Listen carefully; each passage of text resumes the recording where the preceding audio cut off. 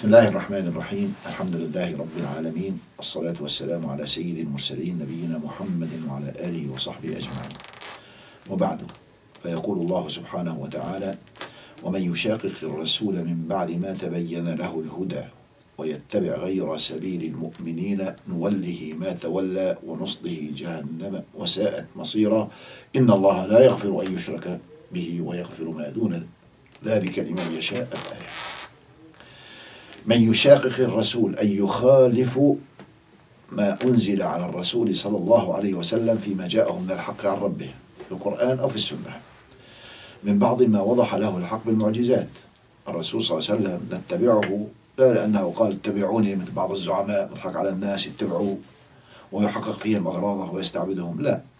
إنما الرسول صلى الله عليه وسلم جاء بمعجزات منها وأعظمها القرآن التي تدل على أنه مرسل من عند الله تبارك وتعالى. فالإنسان عندما يعرف ذلك ثم ينشق عن طاعة الرسول صلى الله عليه وسلم من بعد ما تبين له الهدى ويتبع غير سبيل المؤمنين المؤمنين بالله والرسول جماعة. هؤلاء الجماعة ينهجون نهجا هو طاعة الله والرسول في مجتمعهم مع أزواجهم مع أهليهم في أخذهم في عطائهم في سلوكهم. هؤلاء المؤمنون الذي يشاقق الله والرسول ولا يتبع أوامر رسول الله صلى الله عليه وسلم كأنه ينشق عنهم يسير في طريق غير طريقهم. وعبر بالشاقق لأنه كأنه أحدث شقا بينه وبين المؤمنين فليس هو من المؤمنين. وما تكون نتيجته في الدنيا يقول الله سبحانه وتعالى نوله ما تولى يعني نعطيه ونمده في الطريق الذي تولى فيه. مثل بعض الملاحدة بعض الذين يزعمون أنهم لا دين لهم ينزعجون من الإسلام لأنه الإسلام يمنعهم من التسلط يمنعهم من أكل المال بالباطل يمنعهم من العدوان على الأعراض وهم لا يريدون أن يتركوا التسلط على الناس على أموالهم وعلى أعراضهم وعلى أشخاصهم. فلذلك لا يحبون الإسلام ويتظاهرون بأنهم لا يريدونه أو يعني يصرحون بأنهم لا يريدون الإسلام كما يحصل في بعض الدول مع الأسف التي يعني يعتبر الناس أنهم مؤمنون وإذا بهم لا يرضون حكم الله. ينزعجوا من حكم الله بدهم حكم عبد الله. يكفينا ما رأيناه من حكم العبيد المخلوقات الذين أوجعوا ظهورنا وظهور شبابنا ضربا وجلدا وقتلا وتنكيلا. هذا هو حكم الطاغوت والعياذ بالله تعالى. فهذا الذي ينشق عن أمر الله ما في غير طاعة الله طاعة الشيطان شياطين الإنس. فإذا انشق عن المسلمين وعن المؤمنين فيوليه الله ما تولى. بجوز يتحقق شيء من مصالحه الدنيوية. ولكن في الآخرة ونصله جهنم وساءت مصيرا ساء المصير الذي يصير إليه في النار المحرقة والعياذ بالله تعالى. ثم يبين الله تبارك وتعالى بوضوح أن هذا الذي يستحل طاعة غير الله وينشق عن جماعة المؤمنين هو مشرك. لأنه أشرك مع الله طاعة غيره معنى المشرك أنه يطيع الله في بعض الأمور ويطيع غيره في بعض الأمور. بعض المسلمين يظن نفسه مسلم يطيع الله في الصلاة ثم لا يطيع الله في شؤون الحكم. والله تبارك وتعالى يقول من لم يحكم ما أنزل الله فأولئك هم الكافرون. أفغير دين الله يبغون بده دين آخر؟ مجدوب من الشرق أو الغرب هذا الدين؟ فهذا الذي يريد دينا آخر يطيعه مع ما يزعم أنه يطيع الله هذا معنى الشرك. يشرك مع الله طاعة العبيد. فيقول الله سبحانه إن الله لا يغفر أن يشرك به. ويغفر ما دون ذلك لمن يشاء.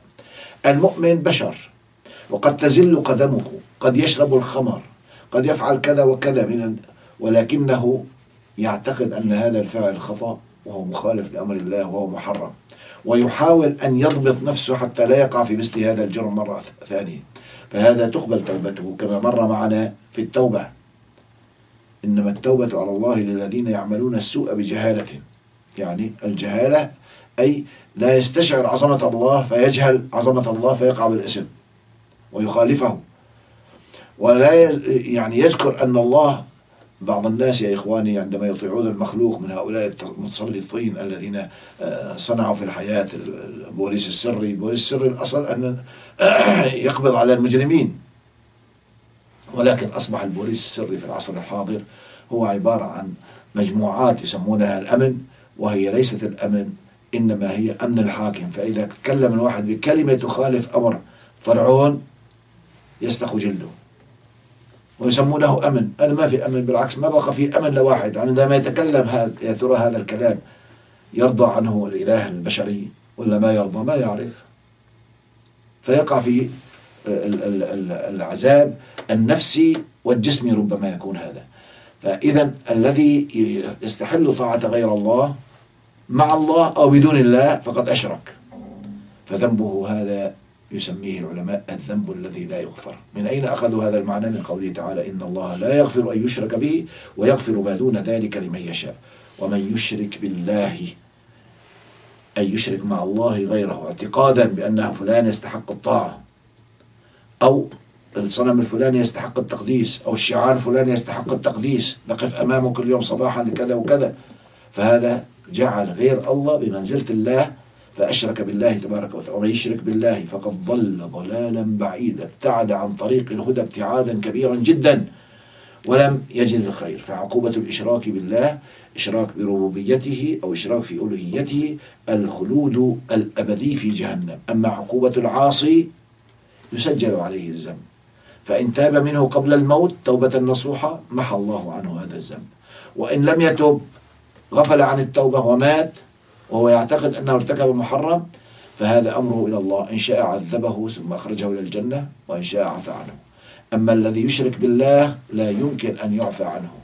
ولهذا أيها الإخوة من استحل طاعة طاغوت وخاض في دماء المسلمين من أجل عيون هذا الطاغوت هذا البشر حتى يرضى عنه أو حتى يعطيه مال أو حتى أو حتى فهذا قد أشركه مع الله فهو مشرك. إذا مات مات على الكفر. لا يحصل الدنيا ولا يحصل الآخرة. فلينتبه إلى ذلك. ويجدد إيمانه. ما بكفي بس يتوقف عن قتل الناس عن مؤازرة الطغيان. لا. عليه أن يجدد إيمانه. أشهد أن لا إله إلا الله وأن محمد رسول الله. لا طاعة ولا عبودية إلا لله. فيدخل في الإسلام من جديد. وهناك حديث يشير إلى ذلك. يقول الرسول صلى الله عليه وسلم في آخر الزمان يأتيكم أمراء. يفعلون ما لا يؤمرون.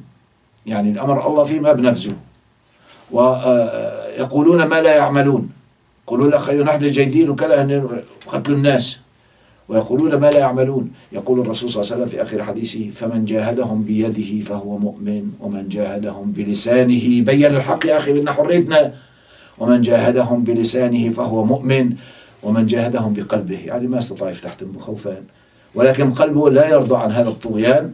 ومن جاهدهم بقلبه فهو مؤمن وليس وراء ذلك إيمان. فاللي بيكونوا بهذا الشكل يجددوا إيمانهم ويدخلوا في الإسلام من جديد ويصلي بخشوع لله؟ قائلين الله أكبر. لو كانوا يفهموا معنى كلمة الله أكبر ما كبروا المخلوق وعظموه بجانب الخالق خالق الأرض والسماوات سبحانه وتعالى عما يشركون. الحمد لله رب العالمين.